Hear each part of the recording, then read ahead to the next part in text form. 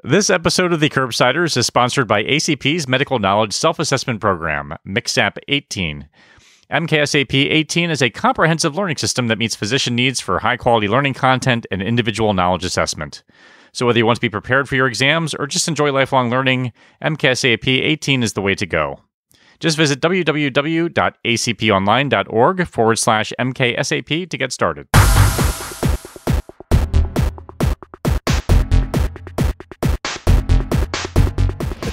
Is for entertainment, education, and information purposes only, and the topics discussed should not be used solely to diagnose, treat, cure, or prevent any diseases or conditions. Furthermore, the views and statements expressed on this podcast are solely those of those and should not be interpreted to reflect official policy or position of any entity aside from possibly Kashlak Memorial Hospital and affiliate outreach programs. If indeed there are any, in fact, there are none. Pretty much, we aren't responsible if you screw up. You should always do your own homework and let us know when we're wrong.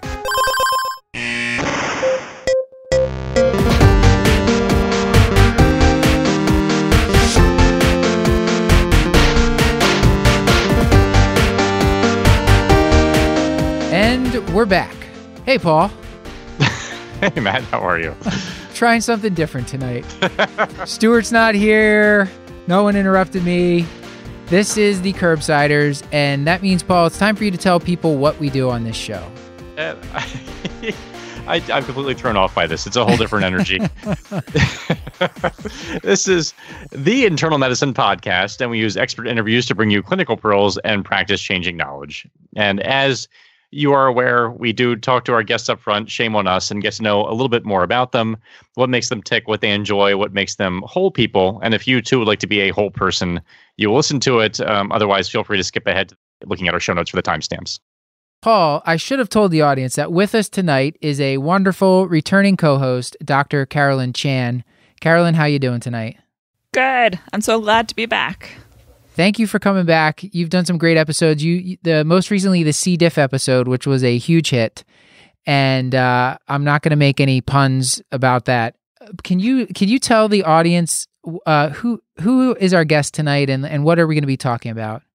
Yeah, I'm so excited to bring this episode to you guys tonight because today we have Dr. Foy White-Chu, and the show is just filled with amazing clinical pearls that really help us demystify the wound care process.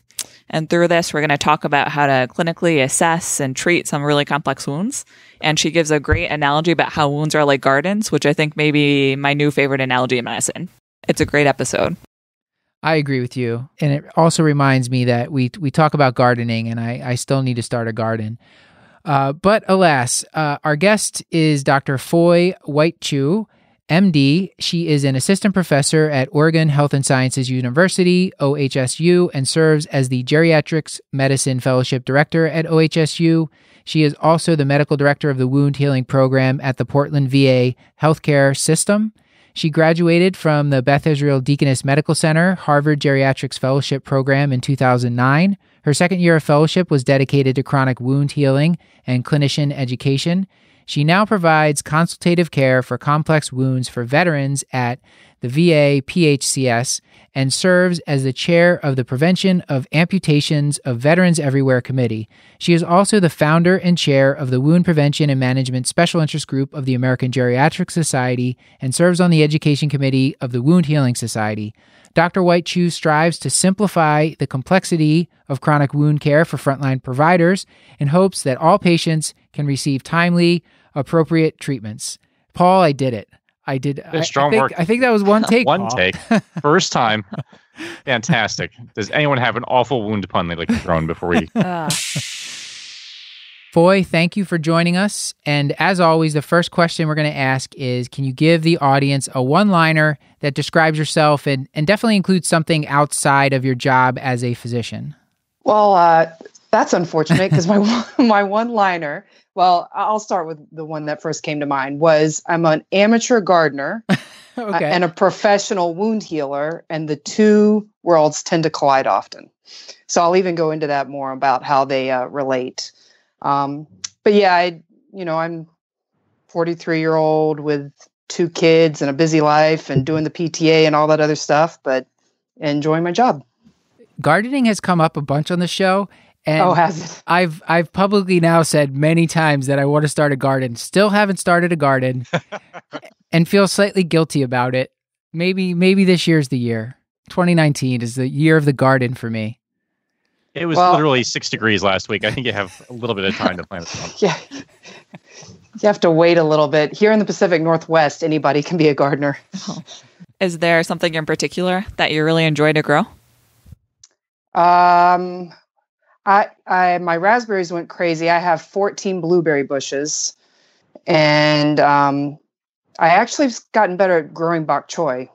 That's been pretty good. Yeah, those are kind of my my mains I like to do. Such a different like it, if you ask people in the Northeast, they're growing like tomatoes and cucumbers. That's like that's Yeah. about it. Yeah. Paul, Yeah, I'm gonna. I'm not gonna ask for a book recommendation this week because I feel like I have a huge backlog of books that I'm not actually ever going to read. So let me instead ask. Um, I'll, I will take any movie recommendation, or barring that, the last time you actually just went out to see a movie. Oh, I I mentioned I have two kids, right? It's gotten expensive. um, we have a whole host of movies we're ready to go see. Uh, let's see. What's on the Oh docket? well. Oh yeah. What's on the docket? Let's see. We got uh, How to Train Your Dragon three, Lego Movie two. Um, on the plane ride that I just went on with my husband, he and I wrote, watched on separate screens, and we watched um, Hidden Figures on the way down there. Really enjoyed that. I got the book from the library because I wanted to read more. And then on the way back, we watched Crazy Rich Asians, which we also enjoyed. And so I got those books from the library too. So although that has like a huge hold list on it. Wow. I admire your ability to watch a movie and then read the book. Because I feel like I always do it the other way around or I or I just can't go back to the book. Fair enough. Oh, it's a trilogy, so I'm getting pretty excited about it. depending on what your kids are into, I saw Spider Verse with my boys. Oh, they Oh, it's really good. Yeah. Yes, that was we saw that literally going to be on my pick of the week. Oh, sorry, Paul. No, no, that's fine. Maybe you could. Uh, I I still want to hear you talk about it, Paul. That's always a joy. Carolyn, did you do you want to ask anything? Yeah, I was going to ask. Uh, we like to kind of talk sometimes. So, do you have a particularly favorite failure? Uh, and if what did you learn from it? Yeah, I really liked this question. Um, so, I mean, there's I've had plenty of failures, as we all have, because that's how we learn. Um, I'm also a Girl Scout leader, and I'm always teaching the girls about the importance of failing and creating a safe space for failing, because that's how you learn. And they've, they, you know, I, I think that's really important. Um, so I was a geriatric academic career award recipient uh, shortly after my um, fellowship. And you know that's a really large grant uh, to foster uh, junior faculty and build a career. And i centered it around wound healing. Um, and i built this uh, curriculum with interdisciplinary uh, method of wound healing. And i think although it was a it was an okay curriculum the biggest failure was the lack of sustainability. Like it was just me and i was like how i could not figure out a way to build in sustainability. And so that that was definitely a really big failure um, because as soon as i left it was gone. So one thing that i've now taken forward with that is i'm um, currently a tideswell scholar for the american geriatric society and also doing a, another wound curriculum but i am not making the same mistake twice and already working with leadership doing train the trainer and how to figure out the sustainability going forward I, I know in the business world that's like a they call it a key person problem where there's one person that if if that person goes away, you know, no one can run the business. Uh, so you don't want that. You want to have multiple people that know how to do do this thing.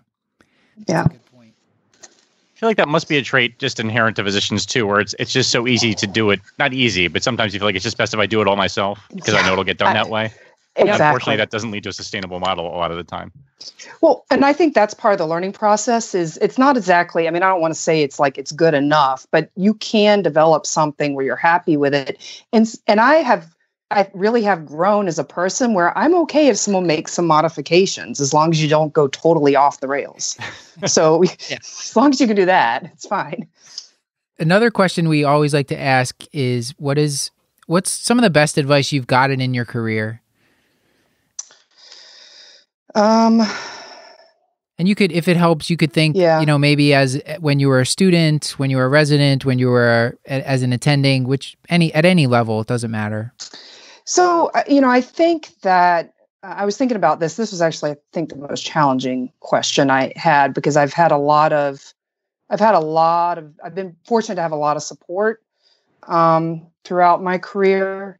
Uh, I think as a trainee, um, I know this sounds, especially in the day in the electronic medical record, don't put all this information in the medical record. Like you're you're bogging yourself down, becoming highly inefficient with your notes.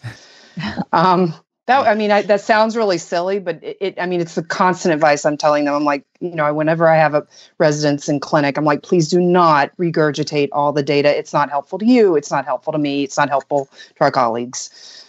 Um, in my career, I think what's been like best advice, you know, there have been some people I think who've tried to give advice with regards to you know the political nature of certain organizations and who you become friends with or whatever but i think the the best advice have been those people who have or i don't know if advice is the right word but um, best interactions have been people who really try to mo- role model and i seek people who it's clear that they don't have a political agenda and that really that the point of what they are uh, looking for is how, what how can we continue to forward evidence based medicine, whether it's in wound healing or geriatrics or internal medicine or what have you, and forward it for the patient and forward it for the healthcare system. When I start to get a, a sense of people being, you know, have ownership over educational information and not sharing and stuff, I've learned to just steer away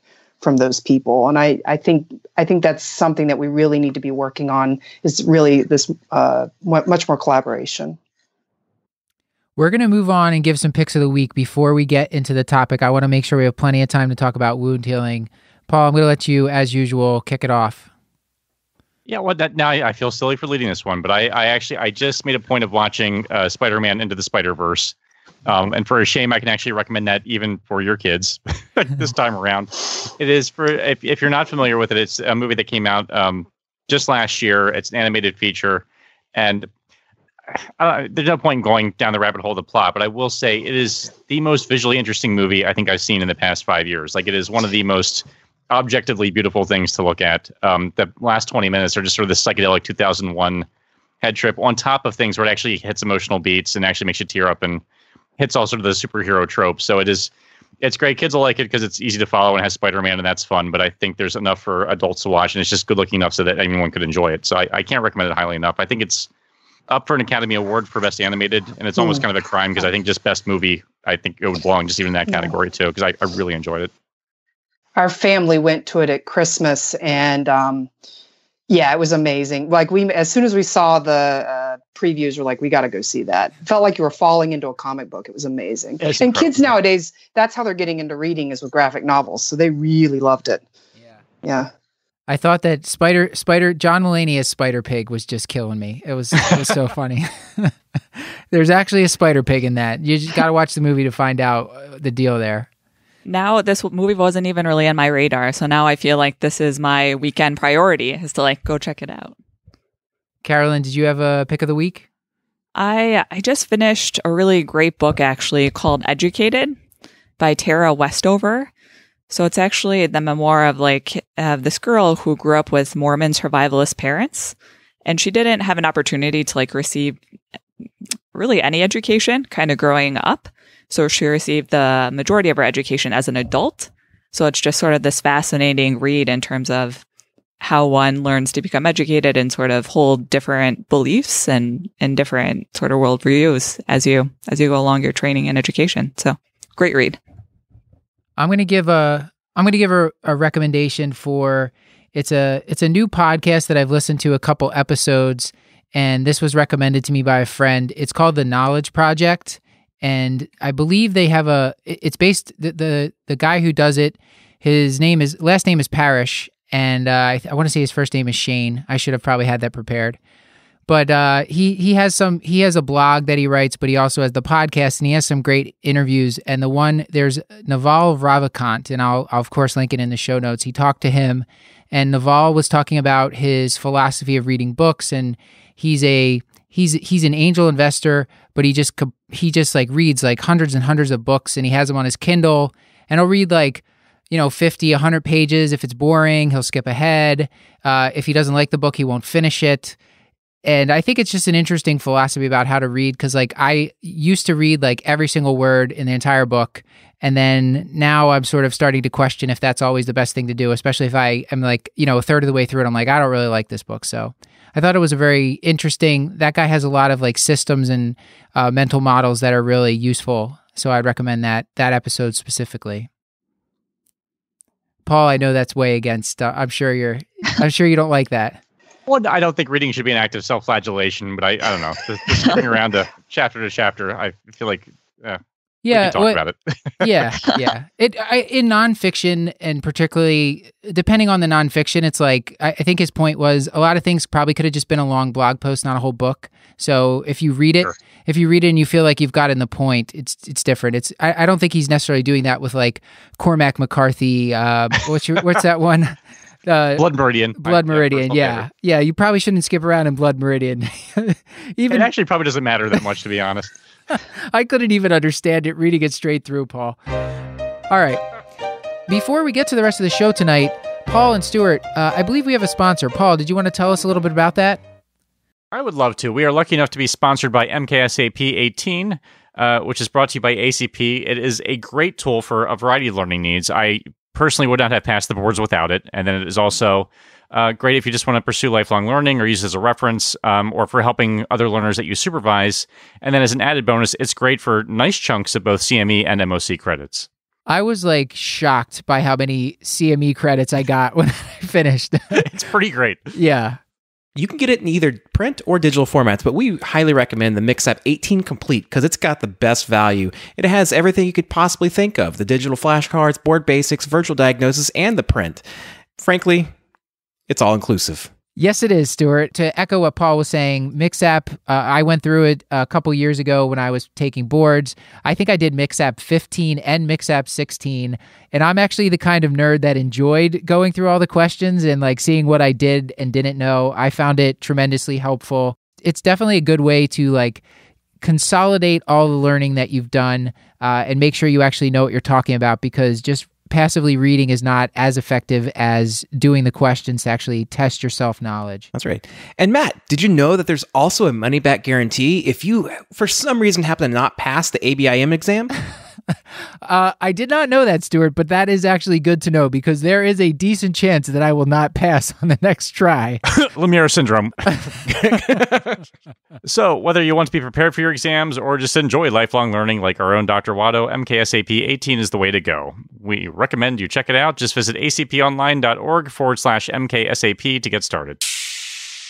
let's let's go on to the case, Carolyn. All right, so we have a great case for you guys to get today from Kashlak Memorial.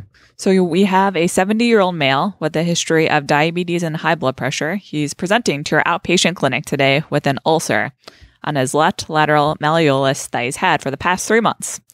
He tells you that it just doesn't seem to heal no matter what he tries, and he's coming to you today because he describes a new foul smelling odor from the wound that started about a week ago. He also tells you that he's been covering the wound with honey to help it heal, which he states is just a home remedy, home remedy that his family's used for years. He wants to know what else he can do to help his wound heal. So, Foy, I guess my first question is to you is, um, how do you approach uh, describing a wound in general? So, oh, so just the wound itself. Yes. Yeah. No, I have a pretty, I like to do a lot of bullet points. Um, so my uh, first location is extremely important, and I get on to the uh, residents about, you know, if it's a pressure ulcer, differentiating the coccyx from the ischium from the sacrum because they all have different etiologies. So it's, it's same with this is exactly, you know, where is the exact location? So that's the first part. Then describing the peri wound, and that's not the edge. And that's really, and I'm feeling that area as well. I'm looking for if there's any pain with palpation. Um, I'm looking to see how dry or wet the skin is, how irritated, if that wound drainage is causing any kind of stasis dermatitis. And then the then I so it's almost going from the outside in. Then I go to the edge, and I'm describing whether there's erythema coming out from the edge. If so, how significant and how far. I'm describing if there's maceration, that's that white bathtub appearance. Is the edge really well demarcated or does it have more of a moth eaten appearance? And then also, is it cliffed? Meaning, if you were a little person standing on the edge of that wound, would you just jump off the cliff or would you roll down the hill? Because it does matter. Um, and and then I then I get to the wound bed. So then talking and I try to keep that super simple. You know, there's all these fancy words, slough and eschar and fibrin. No, no, no, no. You just want to know if it's viable or non-viable. So I kind of describe the percentage of viable tissue, which viable should be that pink granulation, you know, that granular apparent tissue, or non-viable. And that can come in so many different facets. It can be dry, yellow, brown, gray, green. Um, and then the drainage. Uh, when the wound clinic, the nurses know when they remove the dressings, they leave it on a separate, you know, dirty table so that uh, I know that how, you know, I ask the patient when was that last changed, so I get a sense as to how much drainage there was. You know, it's is it small, medium, large, you know, something where they'd have to have it changed every day if they had to keep up with it. And then I also say the color of the drainage. So again, co- going from the outside, coming in, location, peri wound, edge, wound bed, drainage. So this patient has a wound on their lateral malleolus. So I guess I wonder if you could help us differentiate and let us know if it's even worth doing so. So the difference between, say, a pressure ulcer versus a venous ulcer versus an arterial ulcer, like as part of your assessment, um, how important it is to to differentiate between those, and then how do they kind of differ when you're when you're making your initial assessment? Really i mean when the patient first comes to me and they you know, they present with this wound and they want to they immediately want to know what what's on it i was like well let's just back up a little bit. Do you remember how it started? You know was it the car door or dishwasher injury or was it uh, i was in the hospital after getting a hip replacement and i had some problems my leg kept flopping out and it was a pressure you know did it start as a pressure. So really you have to put your detective hat back on and try and sometimes you can't figure it out because maybe the patient doesn't remember but how it might have started. Um, you know lateral malleoli actually are pretty tricky because they definitely could be a, their pressure area.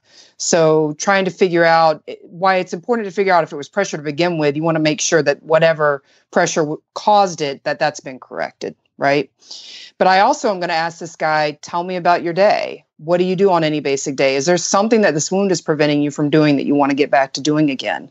Um, and then I'm also asking about, especially something like this on the leg and on the outside part of the leg, what side do you tend to sleep on? You always sleep on your left side? Well, it, even if it's a venous leg ulcer, it doesn't matter. You're still going to be getting pressure on that area, and we got to figure out a way to get the pressure off when you're sleeping. So really, I like I said, I think find trying to do your best to find out what caused it if you can, but then still addressing the offloading principle, even if pressure might not have been the original issue. Are there any other questions that are important to ask? You mentioned asking like what side you sleep on, how did it start? Any other things that we should have? Just kind of it helps it helps us to have like a sort of like a, a script to go through with the with the Yeah. patients. Yeah. I mean, other than your basic, you know, what we all learned in our internal medicine training of how did it start, what makes it better, what makes it worse, how long's it been going on. Um, the part of the review assist, so there's some key review systems in social history that I always ask. Review of systems, I'm always asking about systemic signs and symptoms of uh, infection, you know, fevers, chills, increasing pain in the wound. Um, and I'll get to that in a minute in terms of why that's really important with infection. Um, and also asking about uh, nutrition issues. So, are you having problems with nausea, vomiting, diarrhea? Have you lost weight that you didn't mean to lose, or have you had a poor appetite? And there's actually been some recent data with regards to pressure ulcer specifically that if a patient answers yes to either one of those questions, the weight loss, unintentional weight loss, or loss of appetite, they really should see a dietitian. It's a much more uh, sensitive marker of protein malnutrition, where the lab markers any dietitian could tell you are useless. So really, just screening those those questions a lot easier and less poking. Um, so that's- my social history I like to hit on. I do screen often for obstructive sleep apnea uh, because patients with significant lower extremity swelling and maybe it's not completely understood. Um, you kind of have to wonder if there's a sleep apnea component, and I really want someone to do that study to look at sleep apnea and wound healing because I have seen it myself. That once we get that corrected, their you know their volume status gets under better control and they tend to heal faster. Um, and then uh, also just asking about sleep in general. A, a, lot of our patients have difficulty with sleep. They have difficulty with depression, anxiety because of their wounds. They suffer in silence. So definitely screening for those issues and getting social work involved if you have that as a resource the social history component and these some of these are kind of funny and my residents look at me like i'm crazy. I do the usual you know smoking um, where do you live? Do you have you know I'm, I'm a geriatrician so i ask about function you know are there stairs you need to get through? Uh, i don't want to put you in a wheelchair for your diabetic foot ulcer but if there's absolutely no safe way to offload it temporarily can you get the wheelchair through your narrow 1920 you know house? Um, you might not be able to. Uh, and then also uh, um, I ask about pets. And the reason I ask about pets is because they some animals like to lick wounds. Oh no. Oh god. Yeah. So gross. I know. So I it always like flabbergasts me. I've even had patients who swear by the fact that they've had some sinus tract in their tibia for years, and the thing that helps the the drainage go away is their dog licks it, and then it gets. I'm just like, okay. Um, but it, it's helpful uh, especially if I'm worried about some odd organisms that might be growing. And um, and then also really hygiene and cleanliness. Um, I have plenty of patients that are suffering on um, or struggling, excuse me, with housing issues and might be borderline homeless or frankly homeless, and trying to work with hygiene and um, that. So and you can get dog hair and wounds, etc. So it's definitely those are my main screening questions. I wanted to swing back to what Paul was asking a little bit. I don't know that we directly addressed it. The venous versus arterial versus right. like pressure, neuropathic ulcer. Do you find it is it important to differentiate between those types uh, when we're kind of considering treatment or or mechanism? Um It, I'm laughing because sometimes this people get into real arguments at, at this during National Wound Society meetings. Um, so, did, really, especially with the pressure ulcers on the foot, people argue, well, is it a pressure ulcer or a neuropathic foot ulcer?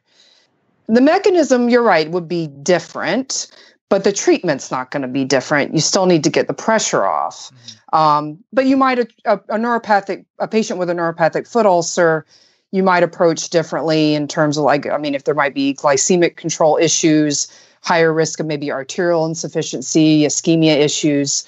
Um, and but the pressure ulcer i feel has really unfortunately come this part of like well where did it start? Who owns it? Who's going to take the hit financially for it? And um, i think that's been a challenge uh, in terms of just saying wait can we just all back up and treat what's causing the wound? Um, and so uh, but in terms of differentiating the four the way i i do make a firm diagnosis. I do i mean you still need to make a diagnosis. But in terms of my approach i also have a, my bullet points that i like to do to make sure i'm not missing anything. So with every single patient first i comment on whether the wound has a potential to heal. That's a whole nother subject we'll cover later. But then after that i discuss offloading edema management, nutrition slash diabetes. I kind of put those in the same, arterial flow, infection, and then the local wound care. So the last thing I think about is what I'm going to put on this wound. I try to address all those reversible conditions first, um, and then tackle what we're going to actually put on the wound we know that with neuropathic foot ulcers, common, I mean, most common cause of neuropathic foot ulcers is diabetes neuropathy, that having edema greatly increases their amputation risk. So, just as we would be doing compression wrapping for a venous leg ulcer, when someone comes in with a diabetic foot ulcer and has swelling, I know I need to get the swelling out of that foot just as important as I would for a venous leg ulcer. And so I'm curious, how do you get the swelling out? I mean, I feel like in clinic all the times you'll see people who will come in with Lasix, you know, like I take Lasix for my leg swelling. What what are your tools to try and help with some of the swelling in the legs? Well, you know, I only do a diuretic if someone has heart failure and a clinical indication. You know, if they don't have a real reason to be on a diuretic, you actually could be worsening it and to where because what you're doing is you're taking away the water leaving the highly proteinaceous fluid behind and could be contributing to the eventual phlebolymphedema that might occur down the road so uh, there's not a lot of well, although I let me I stand corrected. There's increasing evidence in wound care, and I'm actually really happy to see some of the studies that are coming out, and we're doing a much better job as a society, as a you know, a, a, these national societies in do in fostering quality research. Um, the first strongest research was came uh, with treatment was of two issues venous leg ulcers and diabetic foot ulcers. Venous leg ulcers, tons of Cochrane randomized control trial level data that compression wrapping is what is needed uh, to heal these wounds. And that's, you know, that's how you get the swelling out. But it doesn't stop there. You know, you don't just throw some wraps on someone, you're like, okay, you're fine. No, I have a trifecta. I have my trifecta that I like to talk about. So there's compression wrapping, there's a walking program, and then there's leg elevation. So I think we do our patients a disservice because we say you need to have your legs up. Well, then they don't walk and then they, you know, they eat because they're bored and then they start to gain weight and everything else starts, you know, starts to spiral. They get deconditioned, etc. So that goes back to where I went at the beginning and I said, "Well, tell me about yourself. Tell me what you do on any given day." And if you have a patient that happens to live on some property where it's an eighth of a mile to the mailbox, well, do you go and get the mail every day? Yeah okay, well, could you go and get the mail three times a day? You know, what can you do that can extend your walking? And if some people are having trouble with walking because of neuropathy and they walk kind of in that Frankenstein kind of walk, not with that really good heel strike, then get physical therapy involved. Our th- physical therapy team members are essential to this. So, getting them on a really strong walking program and then elevating their legs. I don't know many people who can really elevate their legs above their heart, though. Um, you start to run into back and hip problems.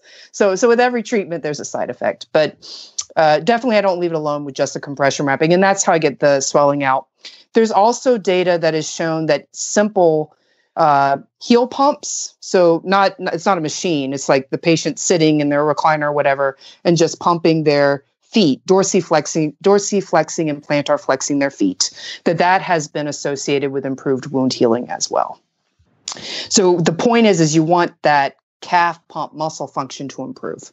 I I liked how in your paper you you referred to the calf muscle as the heart. Wait, was it the um the heart of the leg or something like that. Now I'm messing it up. I had it. Uh... I, ha- I, have it here. The calf muscle pump has been referred to as the peripheral heart because of its role in promoting venous return from the lower extremities. There yes. you go. And they, I mean, in the studies talk, they measure ejection fraction in these veins. Oh my It's gosh. amazing. Oh, interesting. Yeah. Yeah. I love that. So. Are we going to talk specifics about can, can you tell us specific? So we, we're talking venous leg ulcers. We want the uh, peripheral heart to be pumping. So get the mail three times a day. And you mentioned wrapping. What are yeah. they wrapping their legs with? Yeah. So, you know, whenever, like I said, every treatment has a side effect. So before you prescribe the wrapping, you got to do a little bit of due diligence. Mm-hmm. And the thing that I always tell people is feel for pulses. Um, too many times I've had um, colleagues call me and curbside me about a patient. I was like, well, did they have pulses? And there's this pregnant pause on the other line. I was like, oh, you didn't feel. Because if there if you can't feel a pulse, then I'm going to get really nervous starting compression wrapping because a lot of people have mixed disease. They have mixed arterial and venous disease. Um, the the guidelines and the data will tell you that before you prescribe compression wrapping, you need to do an ankle brachial index. I will tell you that I don't do that in my practice because I I think I feel comfortable enough with the treatment. I start low, go slow but go, another geriatric medicine principle. And so if I can feel a pulse, then I'll usually start people out with just depending on their pain issues and um, how eager they are to do this treatment, I might just start them out with a simple two layer wrap. And that might just be a rolled gauze and then a self adhesive bandage over that. But the goal is to move them up eventually to a four layer multi component wrap, which is where the Cochrane data most supports has the best wound healing. There is, um, there's no other name for this other than a trade name, which is the Unna boot. There's the Duke's modified Unna boot, which the Unna boot is a zinc impregnated gap, uh, bandage that you use for compression wrapping, and then the Duke's modified Unna boot is when you then put the self adhesive bandage over that. And most people do the Duke's modified. Um, that used to be the standard of care and i still sometimes use it. If i have a patient who comes in and they said you know what? I had these wounds five years ago nothing healed them except the unna boot i'm like oh i'm putting you right into unna boots because that's what hel- helped you before. I'm not going to put you through all this other stuff. Um, but it's not the first thing that i grab off the shelf anymore and the reason that is is because it's um, it's an inelastic system. So when the patient's not walking it doesn't do a really great job with the swelling. And when they walk, the pressure goes way high. It's a very stiff system. And that can be problematic if they have any kind of microvascular or ischemic disease. It also can be kind of painful. Um, it's easier to use in people who maybe are getting leg wounds and are not very ambulatory, like maybe in a nursing home kind of situation, and they're easy. Um, so, you know, that's where the nuances come in in style and you find out what works for you. But the take home on that is feel for pulses. The guidelines say to get an ankle brachial index and that it should be 0.8 or higher before starting any compression wrapping. And then I, if I see them in clinic, if I can feel a pulse, I'll start them on a two layer, maybe a three layer wrap and try to get them to a four layer if I can. And over, I have so many of my patients complain, you know, that it hurts and that it's painful. So, in what time period are you sort of like escalating those layers of wraps? Yeah. So when I start on the first layer, on just a two layer wrap, I might do that again with the walking program and the leg elevation. And if they have heart failure, that's not under control. If they have heart failure, it's not under control. They shouldn't be wrapped. They need to get that under control before they're wrapped. Um, but, you know, making sure that they're euvolemic.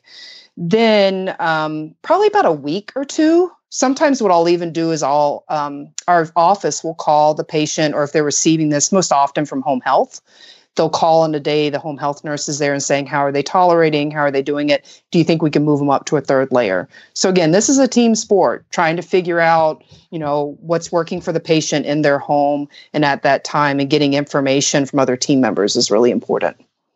You mentioned that there's more modern therapies now, or maybe something something newer. What is there? What's better for wrapping than the Duke's Unna boot? Right. So the multi-component wrap, which is where the latest Cochrane data goes to, is it's both. They used to call it um, multi-layer, but multi-component's a more accurate description, and it has a it has four layers. The first layer is just a cotton batting kind of comfort layer. The second layer is a crepe, uh, long elastic the third layer is almost like an ace bandage, so still elastic, but not as it's a shorter stretch. And then the last layer is a, is a more stiff, shorter stretch, self adhesive uh, bandage. So you're getting multiple components from long stretch to short stretch. And all that, when I mean by long stretch, it means if you were to take the bandage and uh, you know stretch it out you know as hard as you could how easily would it stretch from one end to the other so um, it, but it's a mul- it has multi components, and the benefit of the multi component wrap is it does more compression at rest than a Duke's modified Unna boot would do, and then it increases, but not really high when they walk. So it's it kind of gives them a little bit more of a still increases when they walk, but it's a little bit more level and not such a change from rest to walking. Can I hear what it would sound like when you you counsel a patient? Let's say someone comes in with a well, well this this patient here. Let's say we think this lateral malleolar lesion is is a venous ulcer. How might you tell them how long is this going to take to heal? Uh, let's say we're putting them in a multi-component wrap, and what can you like? What sort of how high do you tell them to elevate their legs? Even that would be helpful. You, you mentioned most people can't elevate above the heart which is what they're that's what they're supposed to do. Okay. Um, and I tell them to just get them up as high as they can, whatever they find comfortable, but keeping in mind I don't want to cause back spasm and hip problems. And you don't want anybody getting some kind of hip contracture if they do it too much. Um, you asked a different question though at the beginning where you were saying how long it would take to heal. Mm-hmm. And I'm often having a realistic expectation talk. So remember how I told you that I walk through kind of my bullet points to make sure I'm covering all my bases with the wound healing. The first thing I talk about um, with patients also is healability. Mm-hmm. So how easy, you know, is, and I kind of put it in good, fair, guarded, or poor to no potential to heal. Um, so, you know, if this gentleman comes in, he let's say he he maybe got a, a car door injury or something um, and it just hasn't healed. He comes in and i see on exam he's got spider veins he's got varicose veins he's tried doing this stuff for three months. Um, I'll t- I say i tell you what let's just try it my way for two weeks.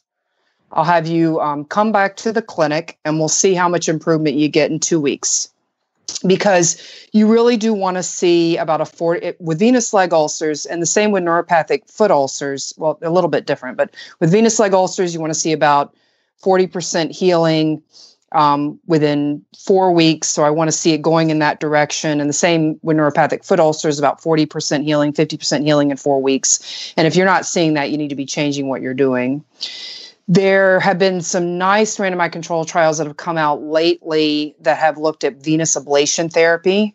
So, the vascular surgery guidelines will tell you that everyone who comes in with a venous leg ulcer absolutely needs to have a uh, venous incompetency study.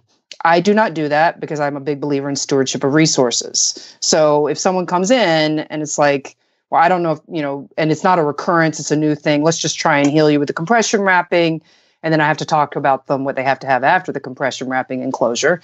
Um, but if someone tells me it's just not healing or, or, i'm finding it's not just healing or it's recurring then i will get a venous incompetency evaluation where they look at the superficial perforator and deep vein system looking at how those valves act and see if they're a candidate for an outpatient procedure that's a simple ablation um, you know back in the you know originally that was devised for cosmetic reasons and uh, to you know help those swollen legs feel better. But now, nice randomized control trials have shown that it does help with healing.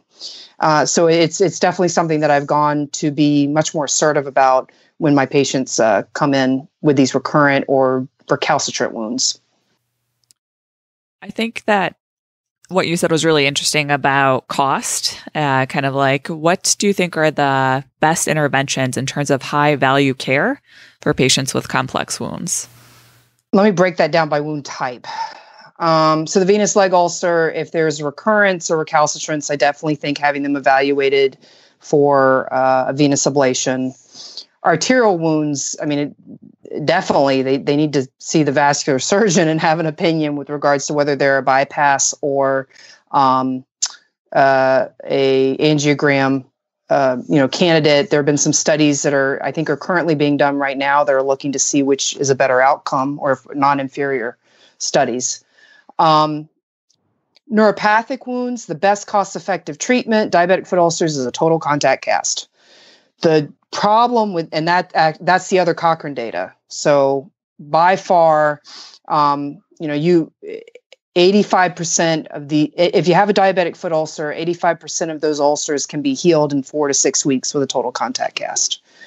The reason why it's not done on a standard basis is the time and skill level needed to do it you know you put it on a patient they need to come back in a few days because they all their edema has gone down in the cast and they start pistoning in the cast so you have to replace it and then they have to come back every week uh, to have a new one replaced so that's a, a, challenge with that, but it's definitely something that we've been pushing in our um, clinic to move uh, towards. Um, those and are, then with, those are kind of like a plaster cast that an orthopedist would fit.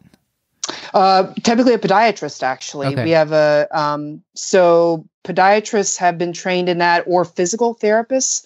Um, also, I've seen that in, in, wound healing clinics. I've seen physical therapists be the ones to put them on.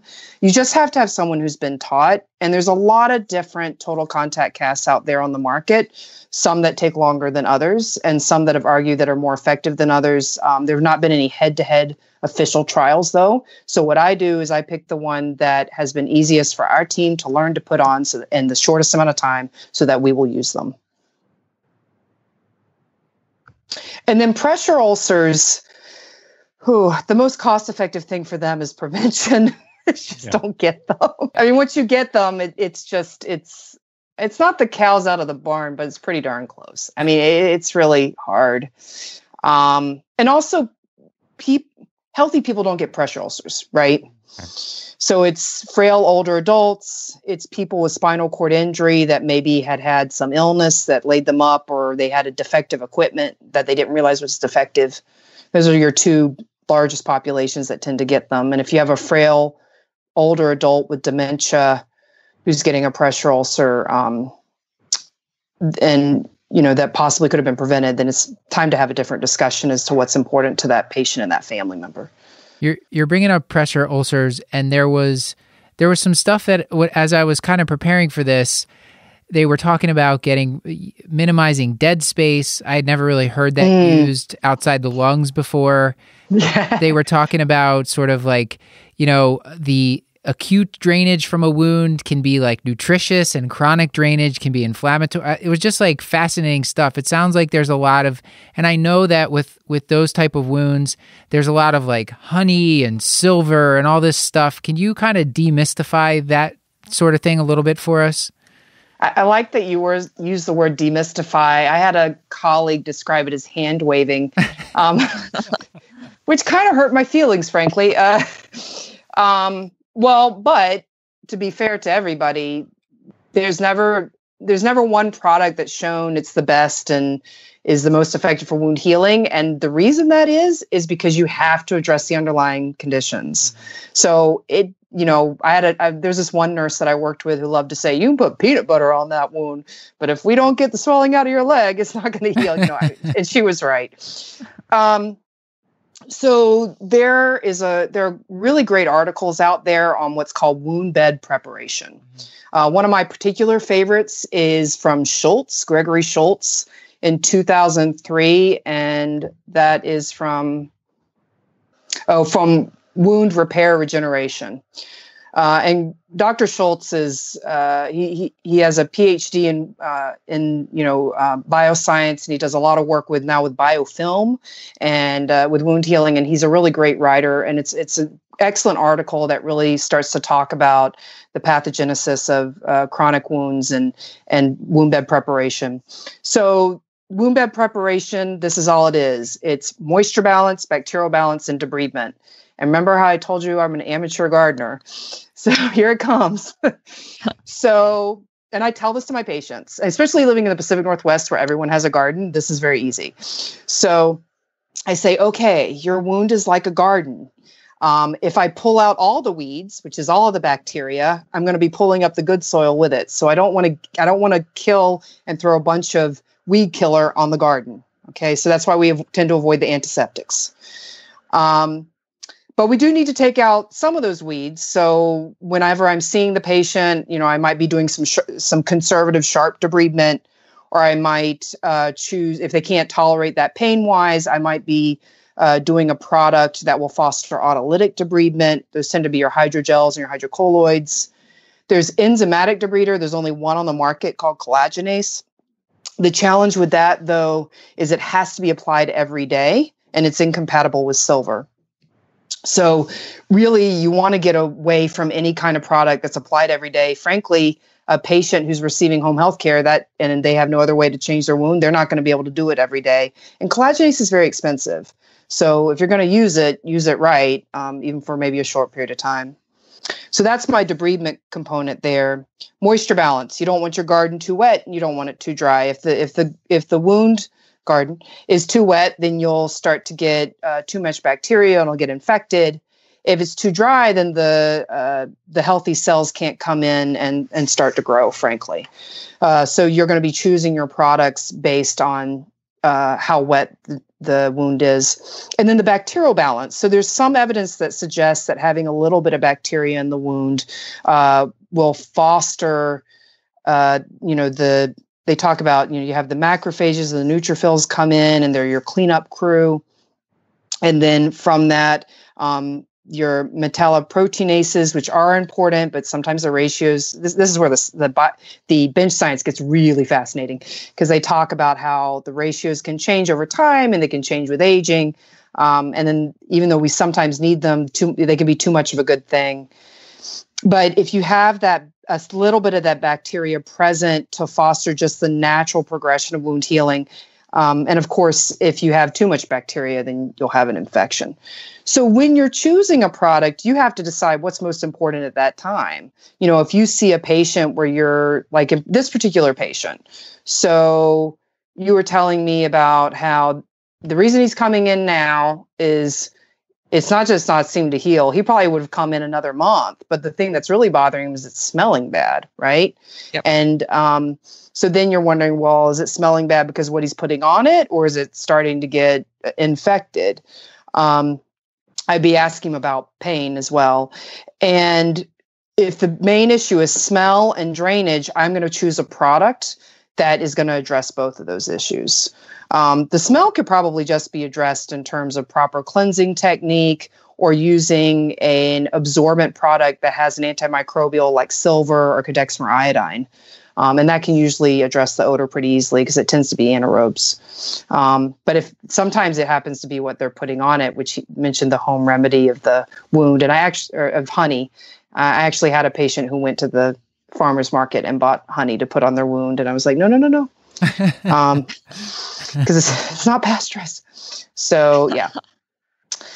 Again, the three main points to take away from that moisture balance, bacterial balance, and debridement. And you are not going to find a product that does all three. You might have some claims that there are products that do all three. Uh, it there it does not exist.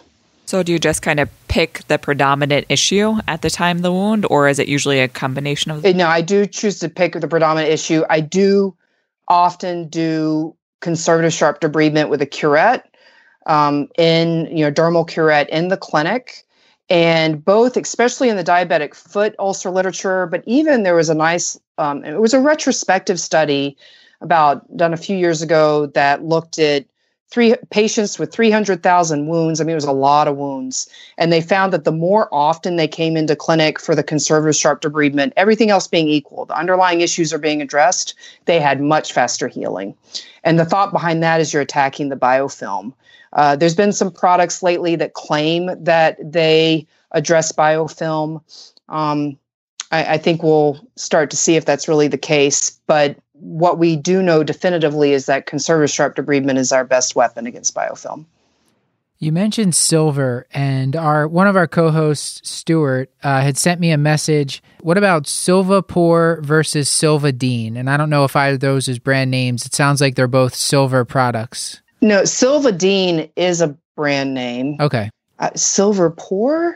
See, Yeah. I'm always learning. So there's more than a thousand products out there in the market, and I have patients coming and telling me what the the silver from in womb products tends to break down into two groups: one that's nanocrystalline silver, and others that isn't. Okay. So, um, if I remember correctly, I don't use Silvadene a lot.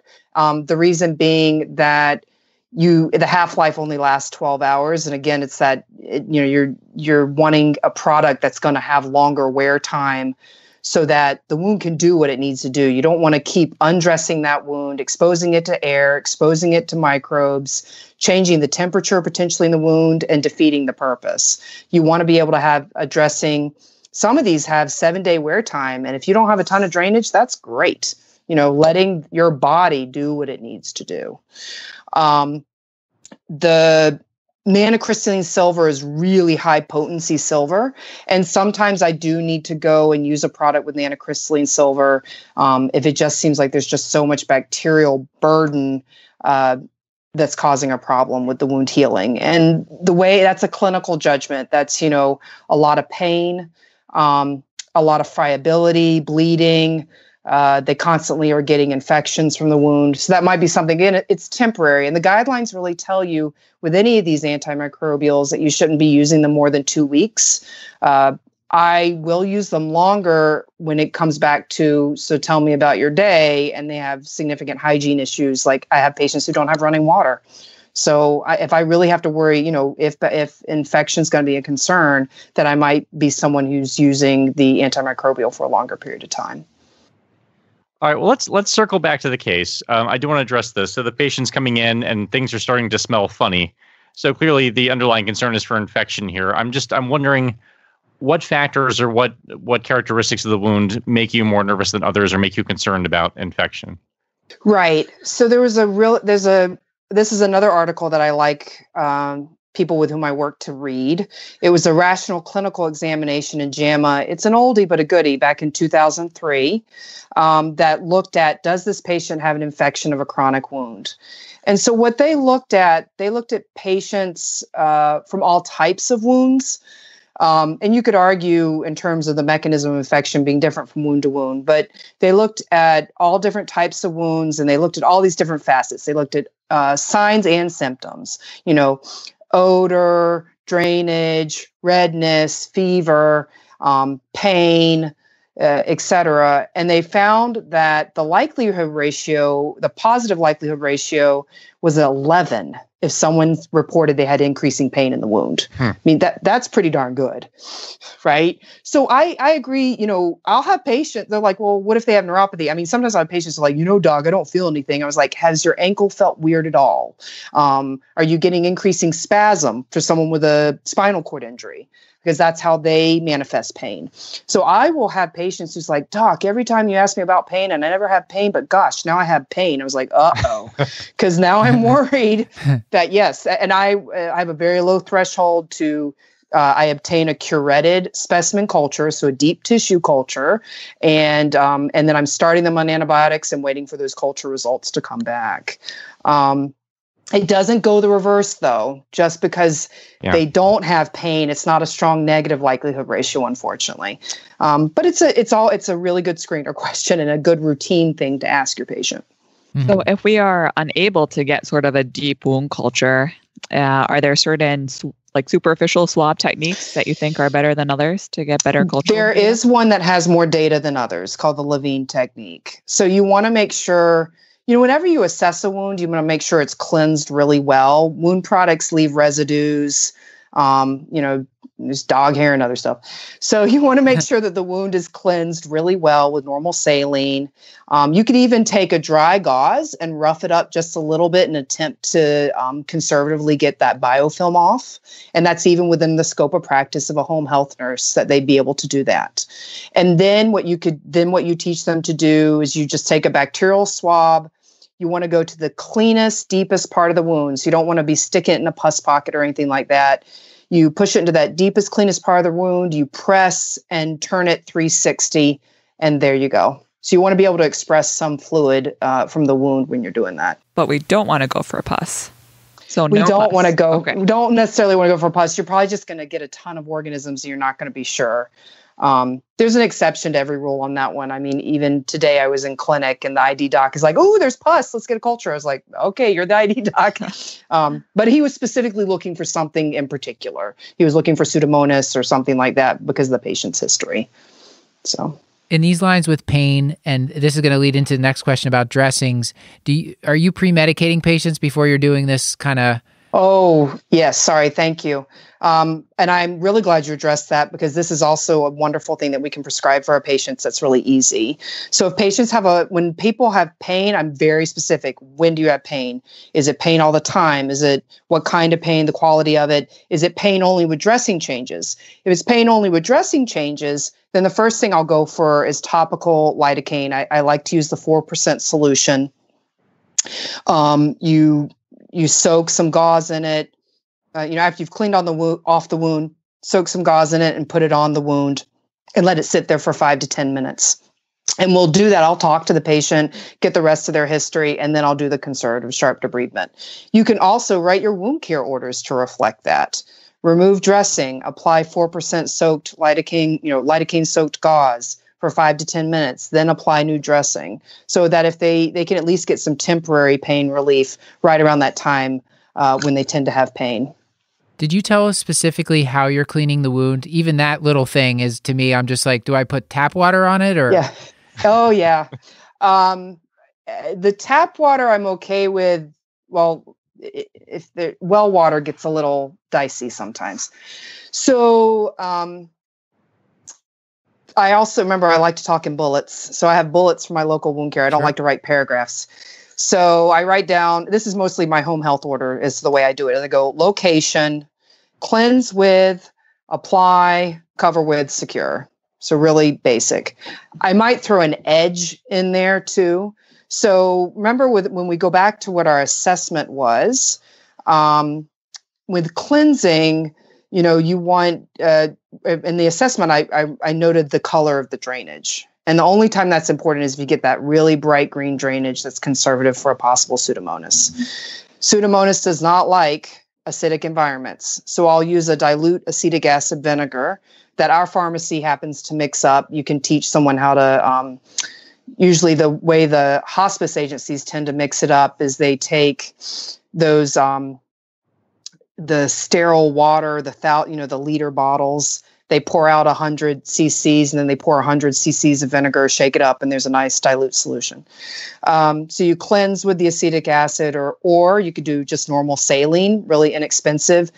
Um, some home health agencies really love the wound cleansers. They have a surfactant in it that can theoretically remove some of the uh, bacterial debris, but there's been no head-to-head studies that have shown that one is better than the other and i'm always thinking about cost. So if normal saline is going to get it done then i'm going to be happy with that. Um, we can talk about showering wounds in a minute. Uh, so but so there's cleanse um, right so you cleanse with the normal saline um, and then i might put an edge protect there. So if people have a really macerated white edge where there just seems to be so much drainage then some kind of zinc paste barrier right around the edge can be helpful just building a wall around that and keeping all the drainage contained so that when you have the protectant dressing on top it goes into the dressing and doesn't spill out onto the skin all around it. Um, right so that's kind of and then then we get to the actual products. So i can go into the basics of the products there unless there are other questions that you had about cleansing well, actually, let me let me step back. J- just with cleansing, like how much do you put on? Do you put the whole liter on, or you just kind of oh, wet the Oh wound? yeah, no, no. I mean, uh, you can you easily just just take a four by four gauze, wet the four by four gauze, and cleanse the wound, making sure that you've gotten all the whatever the old product was off. Um, and maybe even a little bit just some of the bacterial debris. The wound cleansers are easy that way. You just spray it directly on the wound and then clean it with the four by four gauze. This is great. See, this is very simple stuff, Yeah. but it's just like, Yeah. it's like I've, I was never practically taught that, so I just don't. Yeah. I was like, do I just So your wound care costs thirty thousand dollars per change. most, most, most of the wound care I've seen is like, Then it's so- expensive vinegar. yeah. So I have someone, I have someone bite on uh like something leather and or take a swig of whiskey, and then you know Did it's you mostly train during the Civil War? they take a swig of whiskey and then I pour that on their wound. That's what I see in movies. So that's all I know. Excellent, a fabulous. little Okay. Philly tap water, which already has the antimicrobial and some SSRIs in it. So it's Yeah, exactly. Right. Yeah, or my favorite, just call the wound care nurse. So So we were we were going to ask one of the questions we were going to ask. uh, You know, when I was learning steroid topical steroids, there's a million products, and and I just learned like one low potency, medium, and high potency. Do you have any such thing for the kind of wound care topical stuff? Like maybe just a couple agents or one or two from each each type that you can yeah each category. So if I want to add moisture to a wound, I like to go with a hydrogel, a wound gel. Um, if if it has any kind of depth to it, um, or if it has, um, uh, or if it's just a really dry appearing wound, and I want to get that uh, aut- autolyzed, you start to break down. Um, so I like the hydrogels. If they are a really superficial but dry wound, then I might look at more of the oil emulsion gauzes. So that's kind of my adding moisture. There's not most wounds are wet, so there's very few products where you're having to add moisture. But those are probably my two main go-tos that I think if you if you think you know partial thickness, oil emulsion gauze uh, has a little bit of depth to it, um, or just seems like it's a thicker, drier wound, then I would do um, uh, some wound gel. Okay. Then comes the moisture. The if it's real moisture wicking, uh, calcium alginate. There's a is a really great product. Um, it uh, really does a great job of absorbing excess moisture, and it's relatively unexp- inexpensive. Um, most products need to have a topper on top of that, so doing some kind of foam topper, and so then you get dual cushioning as well as more uh, moisture wicking. And then the calcium alginate sometimes has silver in it. So you just have to look for the AG on the packaging. So if you need that combination, you know, multi-component dressing, so to speak, of having both uh, the moisture wicking and releasing of silver. And then by far one of my favorites is the Cadexomer iodine. Uh, it seems it's a counterintuitive kind of dressing because what it is, it comes in a tube, um, and it's a brown cream or paste but it is what it has is these um, beaded technology that has cadexomer iodine in it that slowly releases iodine. So theoretically, not as cytotoxic as straight betadine or iodine. Um, and it's extremely absorbent. Like I believe it's seven times more absorbent than just regular gauze. It a little goes a long way. I've seen people make the mistake of slathering this stuff on, but you just need to go a little is a long way. And it goes on chocolate brown. As it absorbs the excess moisture, it turns an off white. So you have to prepare the patient saying it's not that you have a ton of dead tissue in your wound now. That's actual the, the product. Again, why it's important to cleanse the wound before you make an assessment. So those are probably my main go-tos that I really like that I think any kind of basic wound care you could go for. We probably do want to talk a little teeny bit about negative pressure wound therapy because I get that question a lot as well. Um, it was devised principally for post-operative wounds and has the best data for that. Uh, it, I, you know, I'll receive phone calls from home health nurses who are taking care of a bad pressure ulcer and go, well, can we put a negative pressure wound therapy on it? And um, most often, I mean, if, if drainage is a really, really big concern and it's causing torture to the patient uh, in terms of getting changed all the time, then I think it's worth it from a patient centered modality, at least just for two weeks, if you can try and get some of the drainage under control. Of course, evaluating for osteomyelitis and other relative contraindications um, before starting it. So it has a place. Um, it's most effective if someone's going to be going to the operating room, having a wound surgically debrided. So other than my conservative sharp debridement, but really surgically debrided, um, and then having a negative pressure wound therapy applied uh, shortly after that, um, and doing really well. Most most wound dressings um, you said there's some that can be on for up to seven days. Mm-hmm. It, I guess it just depends. Like if if the dressing is is still dry, if it's not like soaked through, you can keep it on for more than one day. Is it? Do you just kind of change them Oh, as often as you need to? I I've gotten good at just kind of gauging that you know if if the patient tells me well this is how much drainage there is after 3 days and I look at it and I was like okay it's striking through then they're going to need to change it every 3 days. But if there's absolutely no drainage on it and they haven't changed it for several days then I'll just say let's just change it once a week. Um, the multi-component compression wraps don't tend to stay up for a week, so can't do that too often. Um, uh, the the Duke's modified Unna boot though does nicely stay does tend to nicely stay up for a week, so I can get the multi-component wraps maybe changed twice a week. Um, if because it, once they start to sag, you run into other complications. Um, but you're looking at a lot of these dressings. If they're not having a ton of drainage when they come in to see you, first off, you will make sure you're the right product. Should I be adding moisture to the wound? Um, and then if it can go for a week, then that's great you run into challenges where patients want to bathe more often than a week, right? So they can, you know, if, if it's a leg, they can bag up their leg. I worry about falls. Uh, this goes back to my geriatrics training. Um, uh, but I will tell them, you know, when the home health nurse comes, take down the dressing if you're able to, hop in that shower, feel good, you know, get get nice and clean, let the soapy water run over it um, and then you'll cleanse it when you get out, and the home health nurse will dress it. Okay, that answered a lot Yeah. of questions.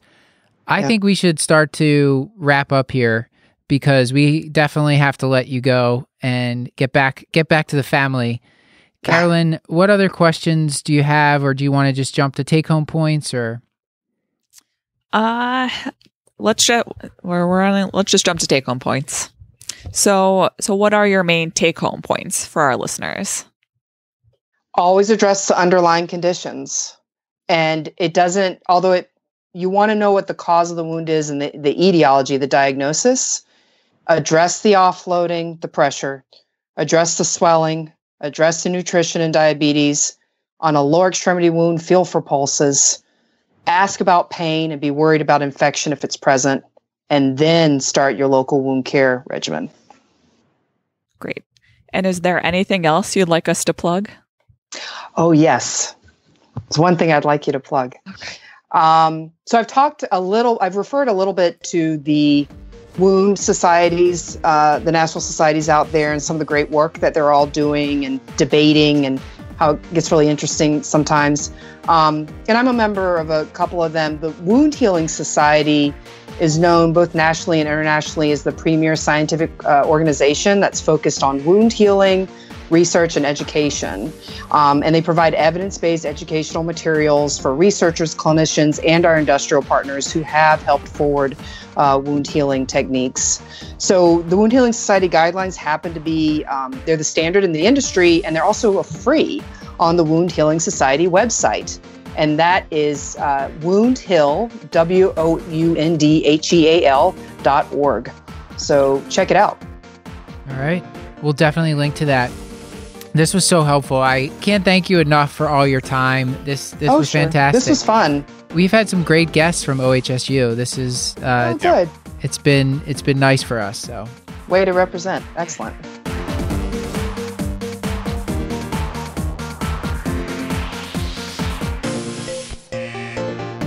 This has been another episode of the Curbsiders, bringing you a little knowledge food for your brain hole. Yummy. There we go. Get show notes at thecurbsiders.com forward slash podcast and sign up for our mailing list at thecurbsiders.com forward slash knowledge food to get our weekly show notes in your inbox. We're committed to providing you with high value, practice changing knowledge, and to do that, we need your feedback. So please subscribe, rate, and review the show on iTunes or contact us at thecurbsiders at gmail.com. A very special thanks to everyone on our social media team uh, Hannah Abrams on Twitter, Beth Garbsch on Instagram, and Chris True, the man on Facebook. And until next time, I'm Dr. Carolyn Chan. And I'm Dr. Matthew Frank Watto. and I remain Dr. Paul Nelson Williams. And goodbye.